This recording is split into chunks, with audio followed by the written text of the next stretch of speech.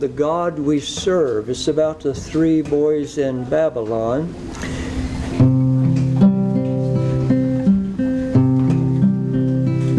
Three fine young men in Babylon with faith and courage bold. Shadrach, Meshach, and Abednego who did as they were told. But when an idol wide and high with celebration grand was to be worshipped and adored, they firmly their stand. The God we serve rules over all. He heeds the cry of great and small. The God we serve is with us now. We will not bend, we will not bow. King Nebuchadnezzar called them in and said, Can it be so bow your knees when all the others bow? We're not concerned, was their reply, O king, to answer you. The God we serve, for him we'd die, but he can save us too. The God we serve rules over all. He heeds the cry of great and small. The God we serve is with us now.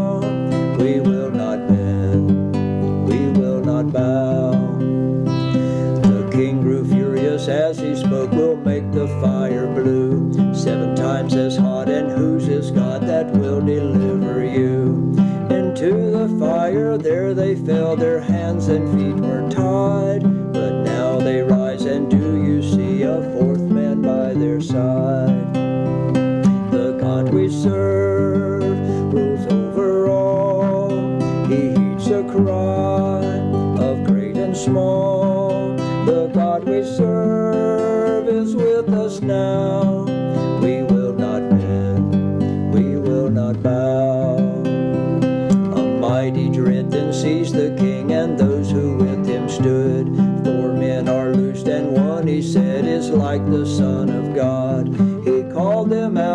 Blessed the Lord, for not a single hair had even been singed, nor had the smell of fire passed on them there. The God we serve rules over all. He heeds the cry of great and small. The God we serve is with us now.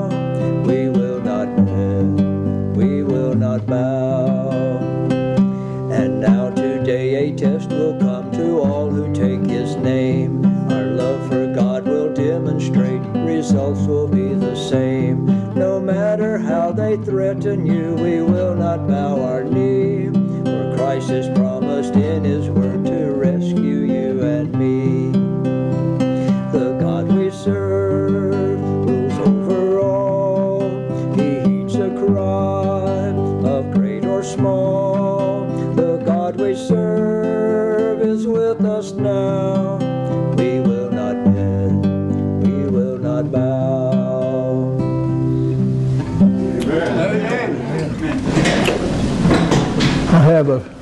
little welcoming slide here for you this morning. Welcome to Smyrna Gospel Ministries Camp Meeting 2016, folks. You know, they say if you can't hear, you can't speak. And I believe that. I do have bad ears, and from working in the workforce all these many years, and it will uh, deafen you. A lot of high sounds and stuff. But I'm welcoming y'all here today to hear this presentation. And uh, we're going to be looking at creation to Jericho, but we won't, won't be able to see it all one day. There's just too much information. And we're going to be talking about uh, God's four great cycles of time, His keepers. Now, have you ever thought about that? How He started our universe off? And uh, before we go any farther, though, I would like at this time just to ask the Lord to bless us once again. Let's bow our heads, please. Our Father in heaven, we want to thank Thee for bringing us to this point in time in our life. For everyone who is here, who will hear His presentation. Father, we want to rightly represent Thee this day and speak the truth as we know it is in Jesus. Our Creator created this world, and we know, Father, that You created it and you said it was very well done. It's very good. And you was pleased with it. And we are too, Father. We don't want to change nothing. But we know one day this world will come to an end and there'll be a new world, a new earth, a new heaven. We all want to be there. And that's our prayer today, Father. Be with us as we speak. Give us uh, clarity of voice and help us to discern, each one of us, the truth that we're about to present. And we thank you in Jesus' name. Amen. Amen. Four great cycles from creation down. And you'll see this, folks, if you'll pay attention to the slides, you'll see the changes in those four cycles.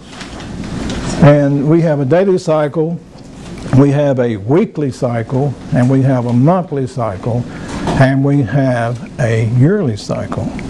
And that's the way it's been ever since creation. And I think about what God has made. This universe we live in is like a huge time clock. He never, ever misses one second of time, not even a day. He knows where everything was in the beginning to the end. He knows each one of us. He knows where we are at in the stream of time.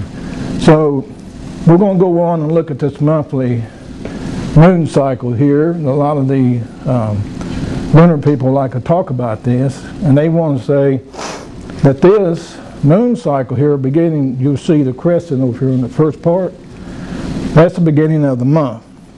And that's the way uh, time was uh, looked at. This is, if you just had a lunar cycle, you wouldn't have a complete uh, complete cycle altogether by itself. I mean, by itself, it's going to come up very short of being true time. So we have to have the sun and all the stars too, because on the uh, first chapter of Genesis, he each day will be presented in this presentation here. Uh, in Genesis 1:14 through 19, we're told about the making of the sun, moon, and the stars, and it was on the fourth day. And on the first day, we know that he said, let there be light. Now there's a little difference between that light and what he did on the fourth day. He created the light, then he put the light bearers in the heavens. Those are the luminaries that we see day and night. We can change one more time. The Literal Week, this comes from Patriarchs and Prophets, one of my favorite books, page 39. And I have a couple more texts up there. But it says the literal week, like the Sabbath, the week originated at creation. And it has been preserved and brought down to us through Bible history. We're going to be looking at Bible history. God himself measured off the first week as a sample for successive weeks to the close of time like every other, it consists of seven literal days. Six days were employed in the work of creation. Upon the seventh day, God rested, and he blessed this day and set it apart as a day of rest for man. In the law given from Sinai, God recognized this week and the facts upon which it is based. After giving the command, remember the Sabbath day to keep it holy, and specifying what shall be done the six days and what shall be done on the seventh day. He gives the reason for observing the week by pointing back to his own example. For in six days the Lord made heaven and earth, the seas and all that is in them, and rested the seventh day. Wherefore the Lord blessed the Sabbath day and hallowed it. This reason appears beautiful and forcible when we understand the days to be literal. The first six days of the week are given to man for labor because God employed the same period of the first week in the work of creation. On the seventh day, man is to refrain from labor and in, in commemoration of the creation of, of creation rest. And there's some text right here uh, Exodus 20 tells us about the fourth commandment. Exodus 16 tells us what he told Israel to do, not to go out to look for the manna on the Sabbath. And there are some of the verses right there. Go ahead now. These four great cycles of God's timekeepers, and this is taken from G.G. Rupert. He was an Adventist back in the early uh, 1900s. And guess who gave me this? A Sabbath, a lunar Sabbath keeper gave this paper to me. And when I, when I went through it, I could agree with about everything that I read in this paper. It says, we have now a Roman calendar, even though it's got 365 days in it. It's got uh, 5 hours, 48 minutes, 48 seconds according to Roman calendar. The earth revolves around the sun, making the year. Every month the moon revolves around the earth. Every 24 hours the earth revolves around its axis, producing day and night. These revolutions were put in motion in the beginning of God's creation of the world. They constitute God's great timekeeper as stated by him to be for signs, for seasons, days, and years. The day produced the fourth cycle by being added together in a group of seven. This cycle was called a week. Upon these cycles instituted in creation of the world, all calendars have been made, whether the Egyptian, Jewish, Roman, or any other upon, upon God's time has been made. Also the, the sundial, the clock, the watch, every other means of timekeeping. The movements of the two great cycles of the year and the month produce the seasons of the year. Cold and heat, early and latter rain, summer and winter, the equinoxes even. Thus we see that the story of Moses concerning the creation of the world has one of special interest, and it has been for me especially. The weekly cycle, this group of seven days, was designed by God to be a one of man's greatest blessings. Six days he should till the soil. The seventh day, the memorial of God's creation, should be a day of rest and worship of the Creator, of the finishing work of creation. We read from Job 38, verses 4 through 7. Where was thou when I laid the foundations of the earth? Declare if thou hast understanding. Who has laid the measures thereof, if thou know? Or who has stretched out the line upon it? Whereupon are the foundations that are fastened? Or who laid the cornerstone thereof? When the morning stars sang together, and all the sons of God shouted for joy. The Sabbath at the end of each week was designed as a memorial of God's created work, that man might not forget the source of all blessings. Question. When were the heavenly bodies put in motion which produced these cycles on the earth? When did this planet begin to revolve upon its axis in harmony with the other planets, thus causing our day and night? the weekly cycle. On the first day of creation, for God said, Let there be light and he divided the light from the darkness. And the morning and the evening was the first day. And on the fourth day, it, is, it was said that the sun should rule the day and the moon the night. And they are for seasons, signs, seasons, days, and years. Genesis 1.14. Then we ask, were those days of creation, uh, days of creation, days of 24 hours produced by the rotation of the earth? And the answer would be yes. Men have examined the formations of the earth by the natural eye and such resources as were within their knowledge. We do it all the time, don't they? Trying to prove or disprove creation. and, we, and have said it requires millions of years to create the world. The question is, who knows the most? They or Moses, when God personally spoke, and who was with God on two occasions of 40 days each. Moses says that Adam was made on the sixth day of the sixth period of the rotation of the earth, and upon that day reckoning and the revolution of the earth around the sun, Adam was 130 years old when Seth was born.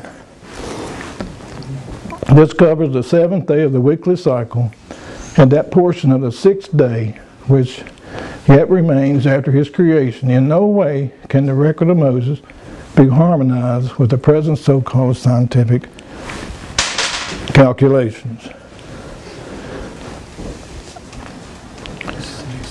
There is one thing positive and certain, namely that the whole Bible is built on the basis of time produced by these revolutions of the planets. And if the record of Moses gives the story of creation falls, the whole Bible falls with it. It's an important, right. very important issue.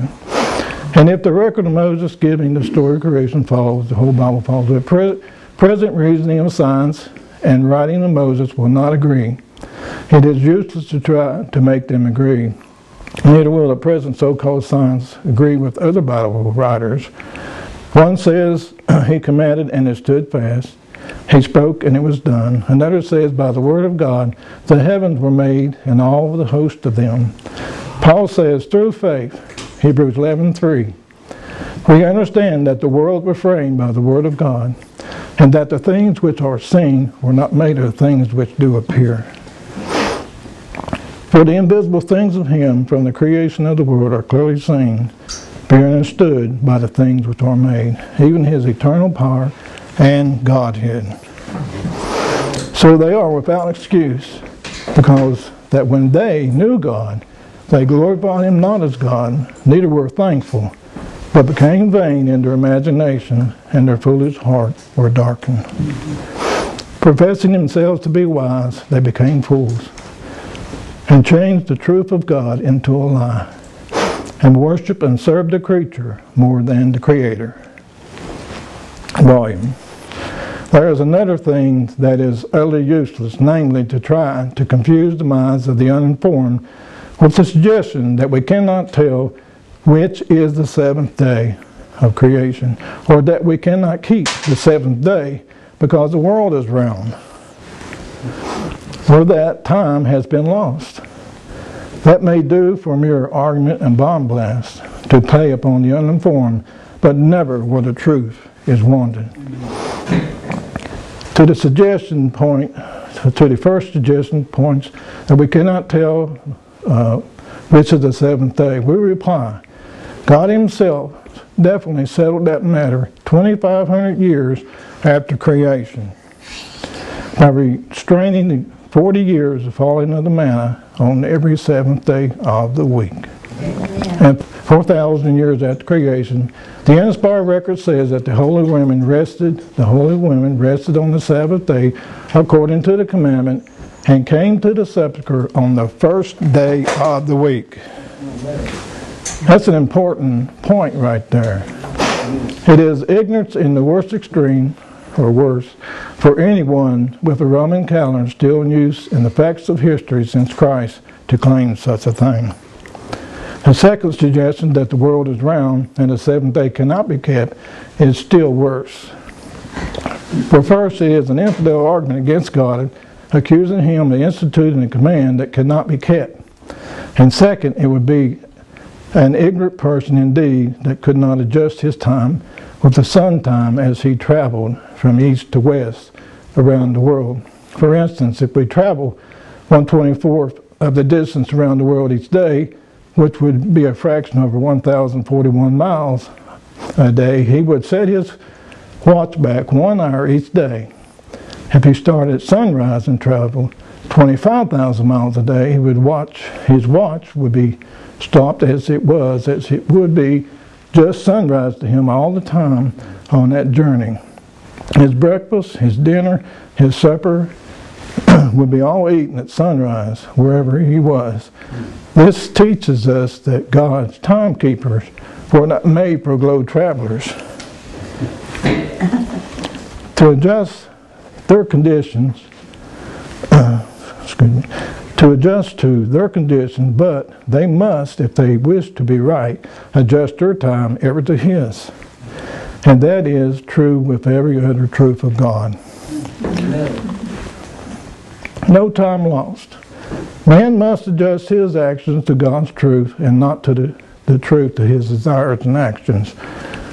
there is a dividing line between God and man. Man wants his way, but God will have his in the end. Happy is the man who seeks God's way. The third suggestion to confuse the minds of the uninformed is that time has been lost. This is a fallacy hardly worthy of consideration. First, if time was lost. Someone ought to be able to tell us when. But they could not tell us when, then how do they know that any time was lost? And if they could tell us that, they would easily add to it to that which was not known, and no time would be lost. Besides, you know where just something is to be found, it's not lost. Babylon has truly made men drunk with the wine of Babylon. Such reasoning can only be produced by a drunken mind who's lost part reasoning. Here we have a picture of the moon and the stars and the sun. This is going right back to where we started. True creation calendar is basically what I'm trying to present, and this is this is important. I started out looking at creation, the cycles of the days, the cycles of the month and years, and we can take seven years at 360 days in a year, 30 days per month. If you add that up, guess how many days you're going to have? It's an interesting number 2,520 days. 2,520 days. The seventh day in the week, seven days in the week, 30 days in the month, 12 months in a year. This cycle repeats continuing through time and changes by two days in the next year.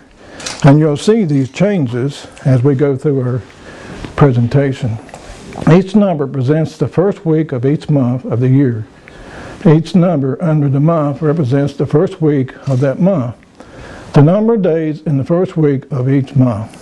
Those numbers up there, out from Y1, that's the first year. And you got 1 through 7 as the first week. Now, I didn't I didn't keep the track of the rest of those numbers in that first month because I wanted to shorten my presentation down as far as I could and keep everything reduced. So what I've done I took the first week of each month for the 12 months of the year. And I would put this in this format. And when you go through, see, the first year was 7, 5, 3, 1, 6, 4, 2, 7, 5, 3, 6, 1. That covers. Again, Allen, what the 5, 3, 1, 6, how those relate, because I know when you went over this with me, I had to get it a couple times. Okay. I'm afraid some of the people may need to hear it again. We have seven days in the first week of creation, right? Okay. One through seven, that's your first week. First month, okay? First year.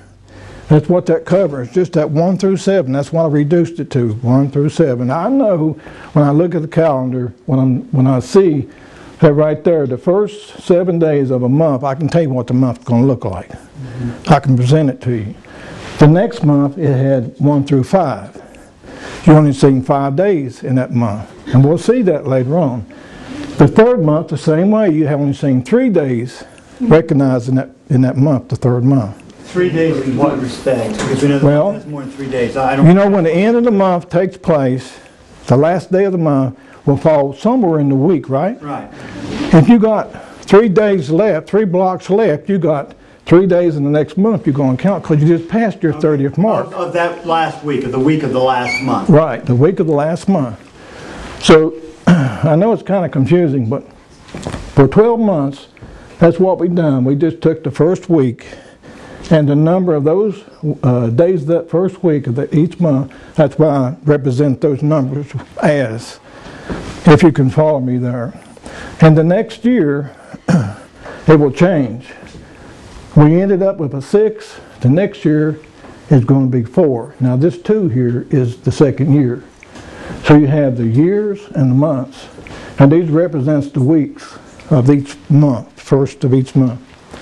So when I came down to the end, I seen that the two would be the next number, and it works out perfectly. And at the end of this year, we wind up with three. And this is the first year and this first year will, will repeat itself completely in seven years. And right here you'll see it repeats itself down here. This is the end of the seventh year. 2, 7, 5, 3, 1, 6, 4, 2, 7, 5, 3, 1, 6. It's the same numbers up here. Can you see that? That's, a, that's kind of confusing. but I had to reduce it down to understand for myself and be able, able to understand how the years recycle. Now this is going to recycle continuously through time. It's amazing if you'll if you'll just kind of observe what I'm trying to say here. But now let's go to the next slide. Now we're looking at the first month of Genesis. You ever thought about doing that? Looking at months in the first year of creation? Well, I had to. I had to do this in order to understand how God created everything and started off. So on the first day, he said, let there be light. And if you read Genesis 1 through, uh, 1 through 5, you'll read about that. The first day. The second day, he did something on that day. The third day. And the fourth day, he said, let there be lights. Those are luminaries. And if you look in the Hebrew, there's more than one. So there's, it's plural. You got the sun, moon, and stars. And right here, they are. And I took this group of phases of the moon and put them into that first month. Now you got the daily cycle, you got a monthly cycle, and also you're beginning your year. You got a weekly cycle, but most of all, that weekly cycle is the most important part of time keeping. It holds everything else together. The Sabbath, if we didn't have a Sabbath, I'm afraid we'd just go into oblivion. But we need to have that rest on the seventh day. Okay. Um, this is the second month. Now, it lined itself up on the first day, new moon. Now, a lot of people get thrown with this new moon idea. Some people think it's a dark moon, but you can't see a dark moon, can you? But you can see the crescent moon. And most people who keep track of lunar time, they use the crescent. And I think God did too, and it was rightfully so. When we start the month off, it's the first day of the month, it'll be new moon day. It won't be the dark of the moon. I don't see how we can use the dark of the moon and still understand his calendar. Now, we have still the weekly cycle with the Sabbath here. We have the first uh, first of the month. But you see where it fell? Look here, it's in the third bracket. It's in the third day of the week, the second month, that that new moon come up. Let's go to the next one, Allen. We got a lot of slides. Here, it moved two places. It moves two places. You see that? And the Sabbath is still here intact. We have the Sabbath at the end of the week. We had the first of the month right there in the fifth bracket. That's fifth day of the week. Okay, Brother Allen. And here we have it fallen into the Sabbath bracket. Now, this, the lunar Sabbath people really love this.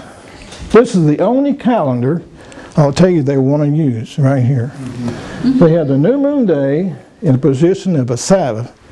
And they have the rest of their days here as 8, 15, 22, and 29. This dark part over here is the conjunction or the dark moon. That's the end of the month. This is the only calendar format that they want to use for all time. How can they do that?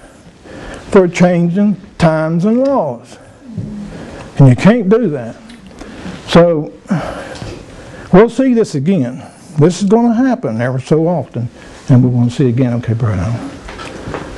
Here we have it falling in the second day of the week, the phases of the moon in that second day of the week, and which got your 30 day here, and you got your Sabbath at the end of the week. Go ahead, Brian. And here we have it falling in the middle of the week. And you have a Sabbath over here and the end of the month. Now you can watch this changing as it changes two days. Now here we go in the fifth or sixth part of the week, sixth day of the week. We're right up against the Sabbath. That new moon came up at this particular time, right there where it's presented at. And the Sabbath is at the end of the week. Here we have the eighth month. It moved all the way over to the first day of the week. I put some numbers up here so you can see a little bit better. So we have the Sabbath at the end of each week. We have four in this month. Now, when the Sabbath comes up here, the new moon also falls on that day. You'll have five Sabbaths in that month. And if it falls the first day here, you'll have five Sabbaths. And you'll see that also. But here you only have four. Okay, brother. Here we are in the ninth month of the first year. You see where the new moon come up? It's in the third day of the week. And the fifth day is the Sabbath of that month. But it's the seventh day of the week. Okay, one more. Here we have the tenth month of that first year, and we see the Sabbath is in the fifth day of the week. And this is your 3, 10, 17, 24. You'll see these numbers over and over again. The 11th month, here we go again with the new moon falling on the Sabbath. This happens whenever it comes together. The, the Sabbath and the phases of the moon, the yearly cycle, the daily cycle, all work together. They inter, they inter, I'm trying to say, they connect up ever so often. And man cannot adjust that. There's no way. He can take his own calendar and make out what he wants. And that's usually what happens. Okay, And here we have the end of the year, 360 days, and it's a dark moon at that period of time. The second day of the week is new moon day, and you have your Sabbath here at the end. This is the second month, second year, the first month. And this as far as this will go, as far as Genesis 1. But I went into the second year, the first month, to show you that when it stopped, it also started again. Mm-hmm. It only moves two days. That cycle of the moon will move two days in a week, and the year changes by two days. Can you see that? So that's some of the things I've been studying about when I look at the calendar, and especially following what I think the biblical calendar is. This would be, to me, creation calendar. There's a lot of ideas about creation calendar, and it really don't match with Scripture. Okay, let's go on. We're going to be looking at the generation of Adam down to Noah's time, Genesis chapter 5. You can see Adam was 130 years old. He lived 930 years. He had a son at 930. And he had, uh, that son had a son, Seth. And on down the line, you can see.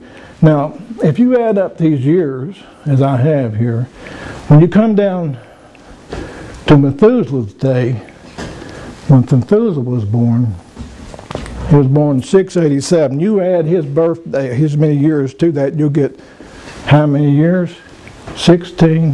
1656. And I did this several times looking at it. And these dates right here are very important to establish the flood year. And we're going to be looking at the flood year.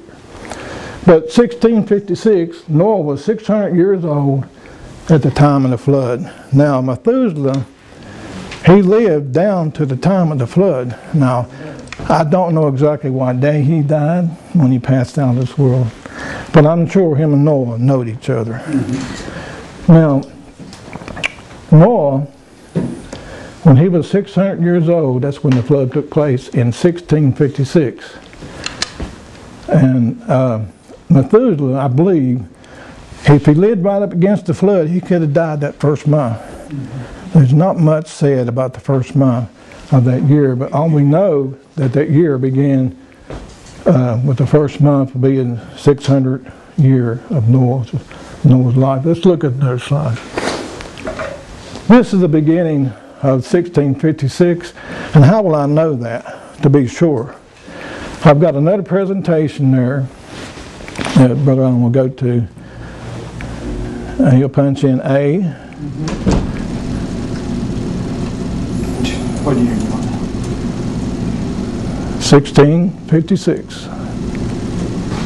Now here's your flood year, 1656. And you see that 1 through 5 are? Yeah. That is the first month of that year. It is. Right there it is, 1 through 5. And I went down through with my calendar and I put this presentation with it so I could see each one of the important years down through time. A lot of years in this calendar. A lot of years. And you can see the flood year here and the end of Methuselah's life. He lived 969 years. The flood year was 1656. Two years after the flood, Seth had his first son. So it makes Noah, when he had him, he was probably 502 years old. Now this is mathematics that I went through to get these dates and birth dates and stuff. This is the first month of the flood year, Noah's life, 600 year. There's not much, go back one more time on that. There's not much said about this month, only that we can say that this is the way it is with my information, of course, and then you have the Sabbath, 5, 12, and 19, 26. You have your phases of the moon. All your cycles are here. They work hand in hand. They're intertwined. They, they, they fall together at different times, like they're supposed to. There's nothing out of order. Okay, Brother. The second month, we have some things going on this month. Now, if you read Genesis 7 and 6 to 11, let's do that right quick and take a look at it. Get a little background here. 7, 6 to 11. It says, Noah was 600 years old when the flood waters were upon the earth. And Noah went in, and his sons, and his wives, and sons' wives with him into the ark because of the waters of the flood. And the clean beasts, and of the beasts uh, that were not clean, of the fowls, and everything that creep upon the earth. There went in two by two into Noah into the ark, male and female, and God as God had commanded Noah. And it came to pass after seven days. Now this is an important uh, part of the verse that the waters of the flood were upon the earth after seven days. Now this makes Noah going in here on the tenth day, which is the Sabbath. What a what a good time to go into an ark of safety on the Sabbath. Yes. Now, lunar Sabbath people will say, well, that's impossible. It doesn't work in the creation calendar, but it does.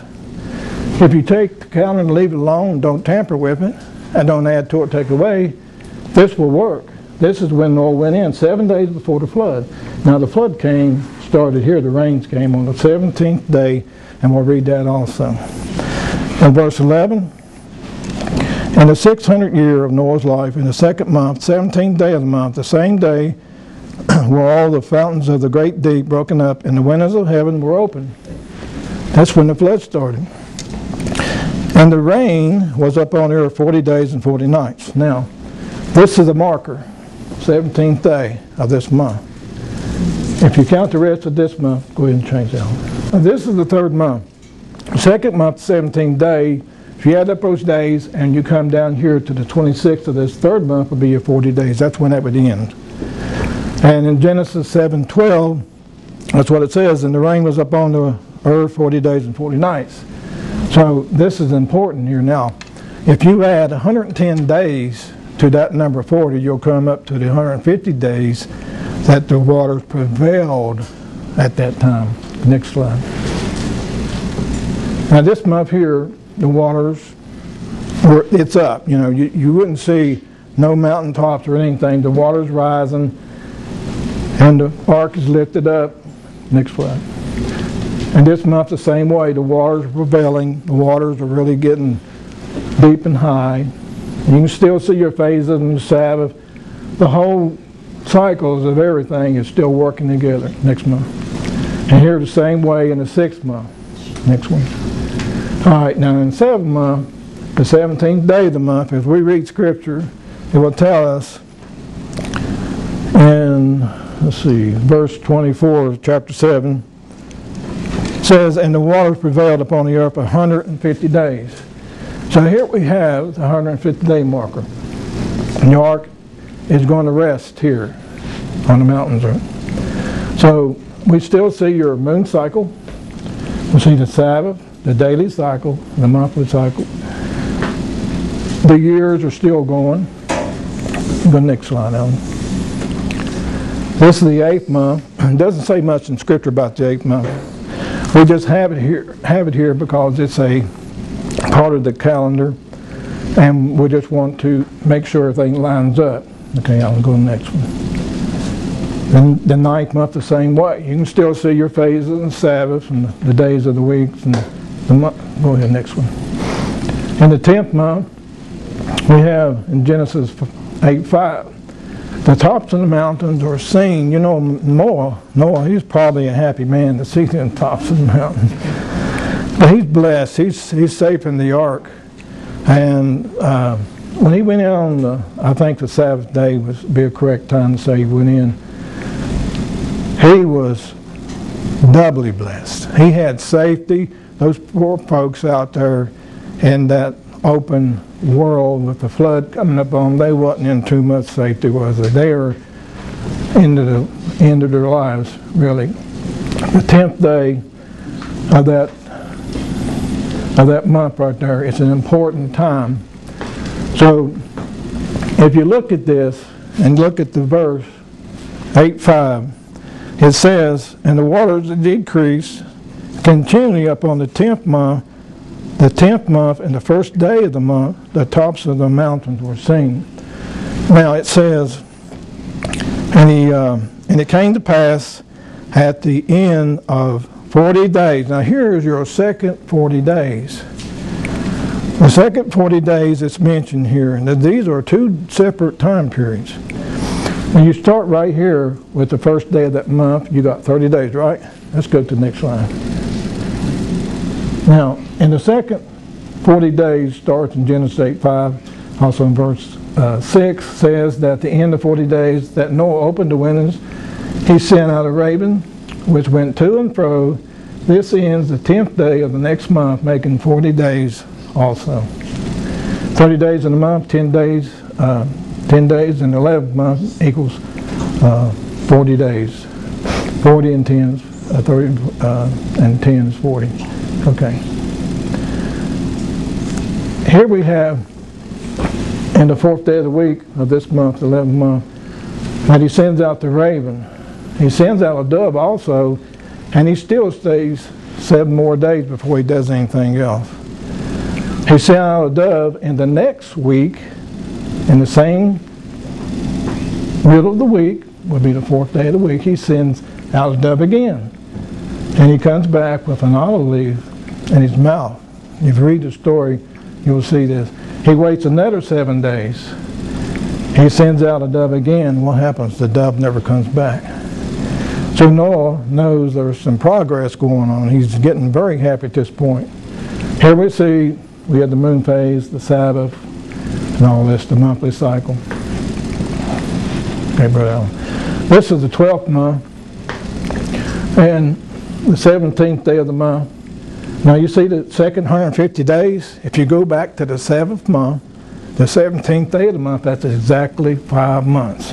30 days to a month, and that day right there, the 17th day of the 12th month, makes the second 150 days. The waters is rising, the waters is going to go down.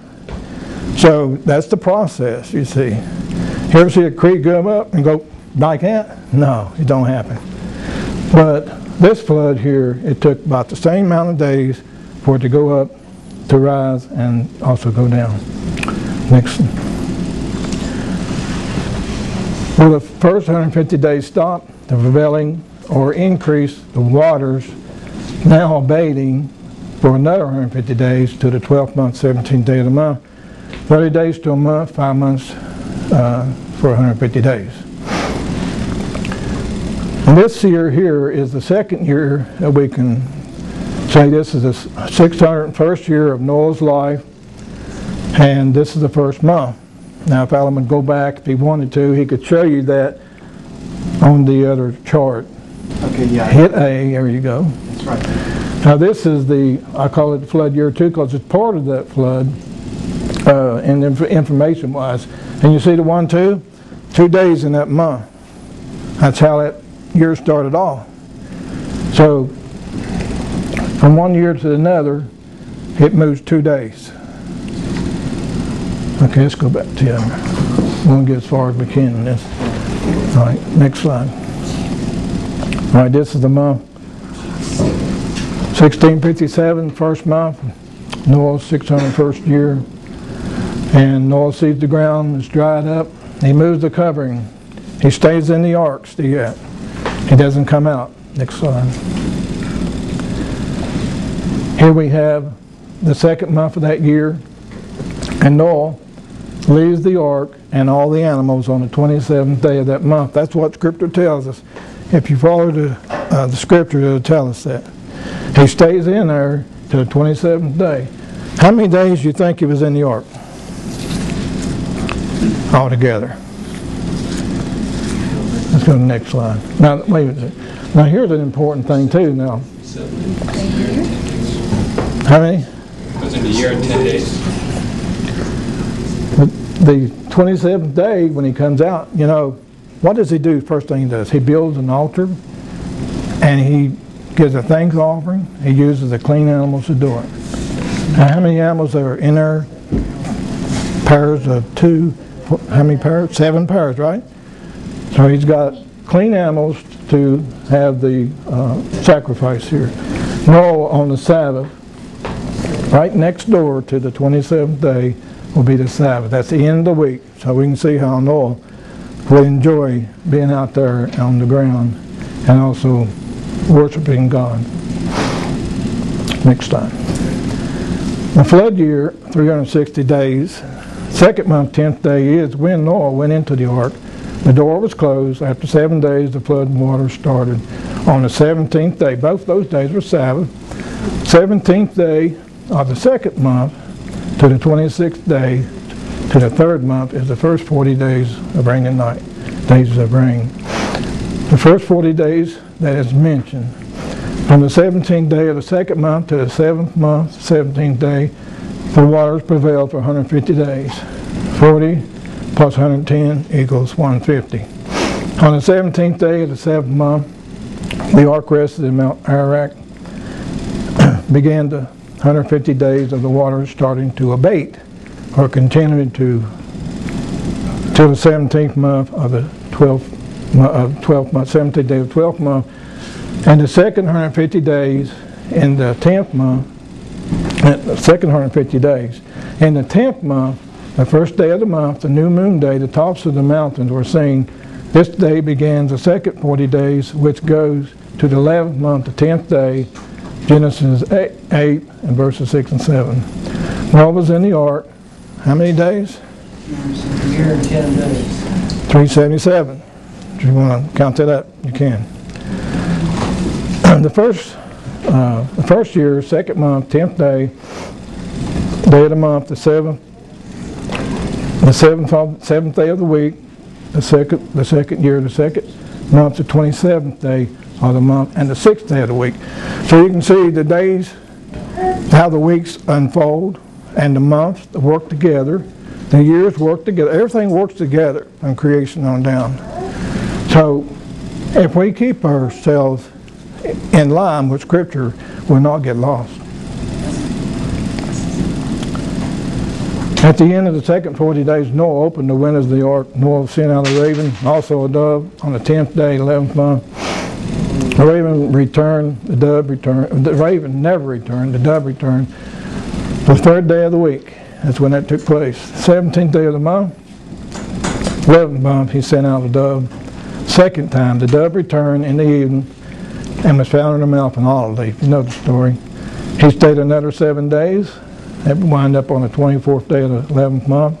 He sent out a dove again and never returned the third time, the third day of the week. The 12th month, the second 150 days ended the 17th day of the month. On the first month of the 601st year, 1657, new moon day, the waters were dried up and the covering was removed from the ark. Noah stayed in the ark till the second month, 27th day. Now we're going to look at the generations of Noah, chapter uh, Genesis 10 and 11. Here we have some more dates. If you go and add up all these birth dates and when they had their sons and stuff, and you'll come up down here to the time about Abraham. you know, when he received that promise, Abraham was 75 years old. What was the promise he received? Okay. He was 75 years old. Now his Terah when he had Abraham and his two brothers, I've got a date here of 1948. And Abraham received a promise in 2083.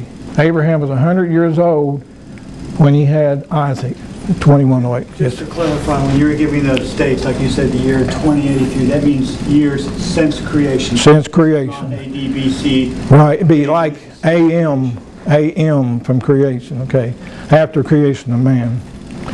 Generations of Abraham. Abraham was 100 years old, he got Isaac, 2108. Isaac was 60 years old when he had Jacob, 2168, and so on down to the time they spent in Palestine was 215 years, and the time he spent in Egypt was 215 years. That makes you 430 years, bringing us down to the date of 2513. But the Exodus year, the first year was 2513, was the third year of a cycle of seven years. Did you catch that? So if you look at those seven-year cycles that repeat, you'll see that these years will pick up on that cycle and they'll, uh, see where you at, 2513. Okay, that's the Exodus year. And you'll see in that particular uh, year, the first month had shown you three days. And this works out fine. This works out perfect. The Exodus year 2513 was the third year of a seven-year cycle. And that's the number right there, 1316427531642. And all this might be Greek to you, might be strange, but it works. Okay, now we're, we're looking we're looking at the Exodus month, the first month. And these are important months because Lunar Sabbath people will really go to town on these, but they really don't do justice to what they're trying to tell people. Now, in this month here, now I'm going to point out a couple things about the Passover. In different years, it will fall on different days of the week. It does that because of the cycles. It can't fall any other way than what the cycles will let it fall. God designed those things to continue until end of time. And I believe the Sabbath will continue right on into the new earth. He's not going to lose any time whatsoever. We are going to keep a Sabbath no matter where we're at in stream of time. The Passover here is in the fourth day of the week. Unleavened bread here is in the fifth day of the week. Pay attention to that because now your real Sabbath is the seventh day of the week here. The unleavened bread fell on the 15th and it went to the 21st. That's the last day of unleavened bread. Lunar Sabbath people says the 15th is the Sabbath because they keep the new moon over here in the seventh day bracket. They, they'll change this calendar if they get a chance. They'll say the new moon will be here so the 14th won't be there. But in the original calendar, I do believe the 14th day was the fifth day of the week, or the 15th day. So it makes no difference. You can call that a holy convocation, but it's not a Sabbath. The real Sabbath is 3, 10, 17, and 24. And I went over this time and time with different people, and they said, well, you can't use a weekly cycle. Why? It came from creation. So I use the weekly cycle, and I will continue to do that forever. Let's go to the next one.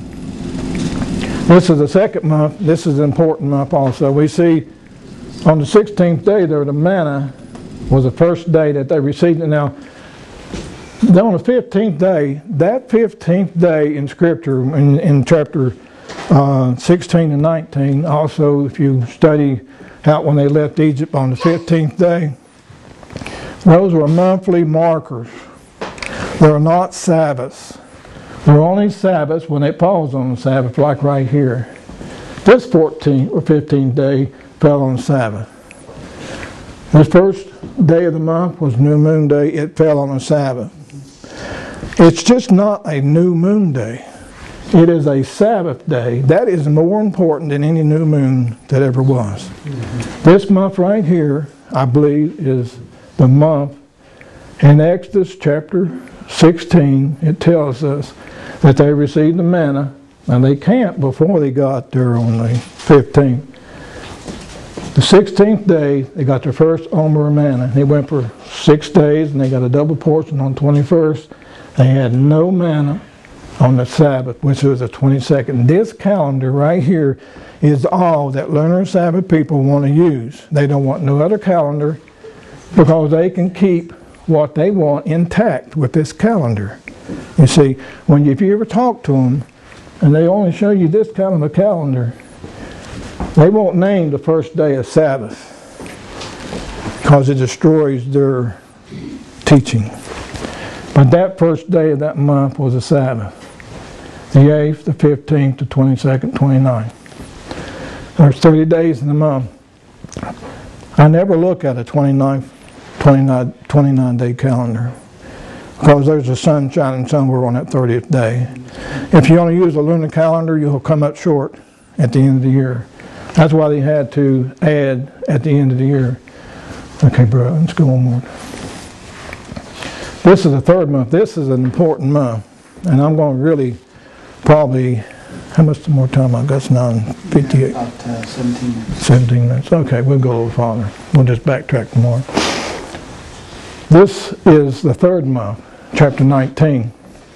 These 15-day markers tells us when they left out of Egypt, how many days they've been gone. This third month, the 15th day, second day of the week, they've been gone 60 days out of Egypt. It's all it is, is a monthly marker. But they'll use that 15th day and they'll say, well, that's the Sabbath because of, of the new moon. But it's not. They can't, they can't use any other calendar, like I said, the second month. They'll say three months in a row, the 15th was the Sabbath. Well, I can prove it wasn't. And it's evident from this calendar format that it isn't a Sabbath. And I have a dear brother, he says, when Abraham got his promise back there, when he was 75 years old, that was the same day of the month, and Scripture says the self same day that he got his promise, they came out of Egypt. And he says that was a Sabbath. When you go back 400 years, 430 years, it will not fall on the Sabbath. I've done this. Allen, if you want to go back to, let's see, it'd be um, 2083. Okay. Now you see, you got one through five in that month, the first month of that year. So if they were in the third month, let's see. He was 75 years old at that time when he got the covenant. Now, if you go back and look at them, those particular months, like it starts out 1 through 5, it won't fall on the Sabbath. Those 15, the 15th would never fall on the Sabbath at that time.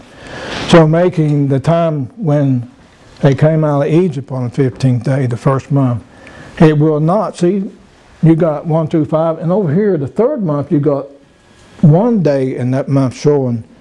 That would be the month showing in that year, Exodus, the second month. That will be a 15 day on that, and, but that 1 through 5 will not let that 15 day fall on, the, on Sabbath. So Abraham did not receive that promise on the Sabbath. And the 430 years, back down to 2513, will not be a Sabbath either on that, on that particular time in the first month. So you got the first three months when they say that the Sabbath was the 15th day of the month for three months in a row, don't believe it. Make them prove it to you. And make sure if they do, they use the correct calendar. And if they don't, don't listen to them. Now they leave Mount Sinai in the second year of the first month. And and we'll get to that later. But at this present time, we have gone down to the Exodus years. And I don't want to go into the third month because it's going to take a while to go through that. But I'd like to take this time, if we could, just to have some questions. Sure. If you've got any questions, I'll try to answer the best I can. We'll take the rest of this time to do that. If you say I have a question, please repeat it as firmly loud as you can. Maybe the microphone will pick it up. Anyone? Is there any correlation between the flat earth theory and people that keep the lunar Sabbaths?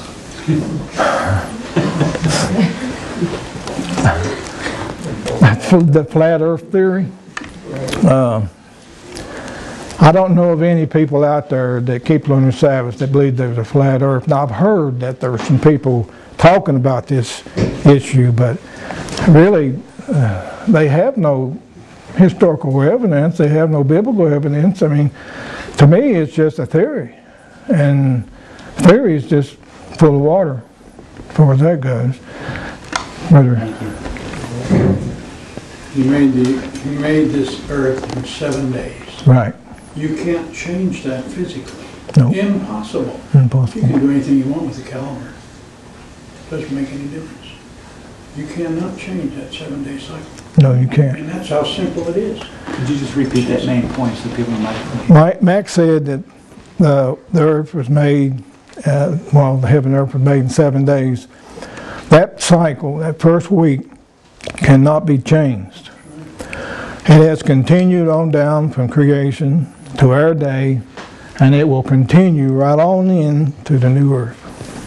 Some way or another, the Sabbath's going to be kept, people. It's not going to be lost. There's no time lost that I can find anywhere. And you find somebody who can prove that, I want to talk to him. No three months in a row. The 15th day is not always a Sabbath. It will be a Sabbath when it falls on a Sabbath. No matter what kind of a feast it is, or just a regular number of the month, if it falls on a Sabbath, it will be a Sabbath. But the seventh day of the week is always at the end of the week. Yes. Where have you seen people that have accepted this understanding of, you know, the Sabbath and, you know, looking at the moon cycles? Where have you seen them gone to an extreme? Where does it take I tell you, and the dangers? What are the dangers? the dangers are there. I know an individual when I first met him, and when we was looking at this lunar Sabbath, today he don't even believe in the Messiah.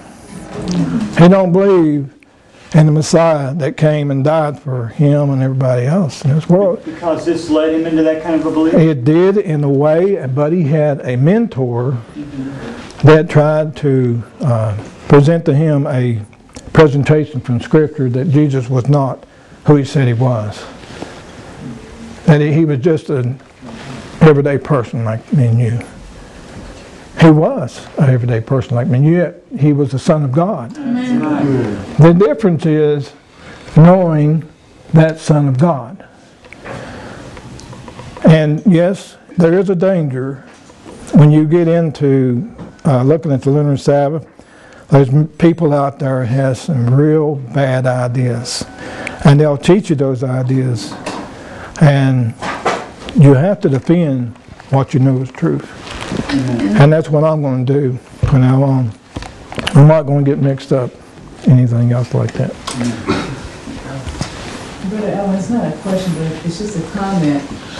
Uh, We believe in the Godhead message, and what happens, or what I've seen happen is, is minimized when those persons who believe in the Godhead, now they believe in the feast days, now they believe in the Sabbath, and now they believe in this, what is it, earth theory. And, and it makes us look like we're stupid, because they, they- people tell me, that's where you're gonna end up. Mm. Because I believe if there's only two, I'm gonna end up on this off track. And that's what frightens me most of all, because it's a distraction, mm-hmm. real truth. And how we get there, I have no clue, but it just makes me really sad. Right.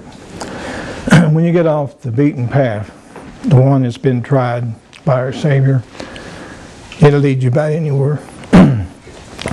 There are people out there who have some strange ideas. Is there another question? Yes, I have a Okay. question for you. Uh, this is physical, about the physical. You know, normally you, you work six day and seven day you rest. Right. When on the sixth day you are tired. And when you go into the Sabbath, then you get refreshed. And what experience do you have when you, you, you, take, you took the, the lunar Sabbath according to the physical? Well, the lunar Sabbath people, they use the first day of the month as a no work day. They don't look at it to do anything, really. They, they want to call that a holy day. Not to do any work. It's almost like a Sabbath. And they'll say, well, after that day, I'll count the next day as first day of the week.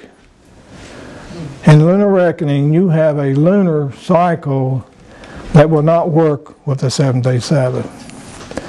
They'll work the second day of the month, they call that the first day of the week, and they'll work down to the seventh day, and they'll work those six days, and then that next day, on the eighth day, they call that the Sabbath. They want to see in the heavens the moon, the cycle of the first quarter. By that time, you have the first uh, day of the month as the crescent.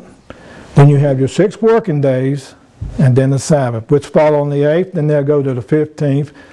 That makes, you know, the next first day of the week fall on the wrong day. So when they do this, they can only, it can only happen very seldom that it only happen like that. Those cycles work together in such a way that that does not happen very often. But they'll claim three months in a row. When you get them to prove three months in a row, I want to see it. I don't see it in Scripture. Well, I say, Brother Mac. You know, Elvis had an interesting question Okay. about, about the physical. Right. Scientists have discovered, and Loma Linda put the information out, that on the seventh day Sabbath, people's blood pressure goes down. Mm-hmm. There are all kinds of things that happen in our body mm-hmm. physically. Mm-hmm.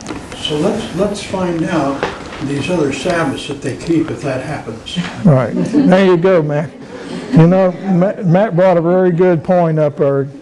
I'm going to tell you something about myself, what happened. Uh, during my experience with this, I think I nearly lost my life. Honestly. The stress was unreal. When I finally realized um, about lunar Sabbath not being the true Sabbath, I tell you, I just about went crazy. And the more I looked at the scriptures, and the more I thought about what they were telling me and showing me from different presentations and stuff, people talking, presenting different things, I could see there was a world of difference. And then when I started studying on my own, reading God's Word, looking at this situation, these calendars from creation down, it helped me to revitalize. I have better health today than I did two years ago, honestly. And uh, it's been a blessing just to, to get in God's Word and to let it speak to me. Not let any human, I didn't go to any sources outside the Bible, only the Spirit of Prophecy.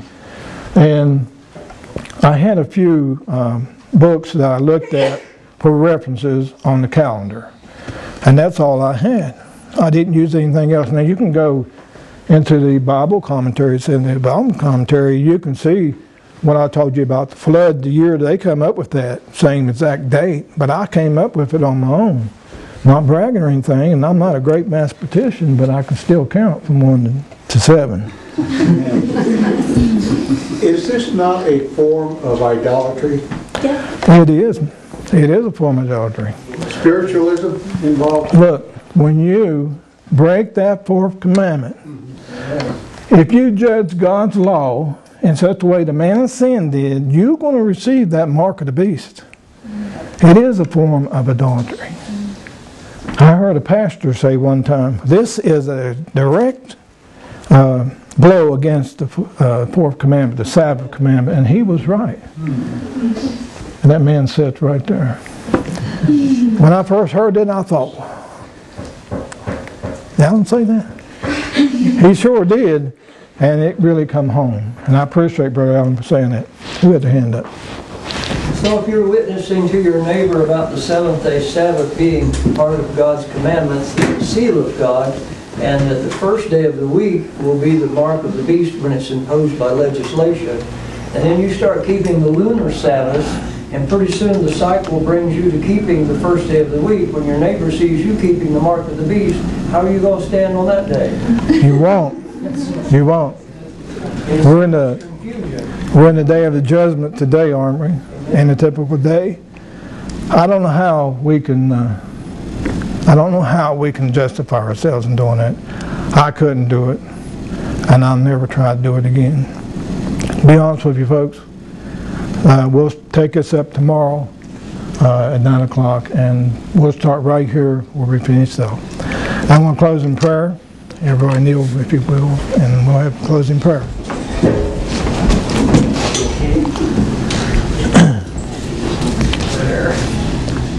Heavenly Father, we want to thank Thee for giving us to the insight as you have, Father. You blessed us today to see the real creation calendar, the four cycles that you have given us in the creation of the world have come down to us, Father, and it's kept perfect time. No time has been lost, and we're grateful that you're the great I am, and you have taken care of all your particulars that you have done in creation. And we thank you for that, Father. And you've given us the salve, a sign between you and your people. And we want always to walk in your ways, your paths. And uh, the Sabbath is the oldest path that I know of. And we thank you for the Sabbath day, Father. This is not the Sabbath, but it's coming up soon. We are in, going to enjoy every bit of it. And we thank you once again, Father, for this little congregation here. I ask you to bless each one, and we, as we, come uh, throughout the rest of this day, bless each service afterwards, Father, and the speakers and the message. May it be your word, Father. And we thank you once again in Jesus' name. Amen. Amen.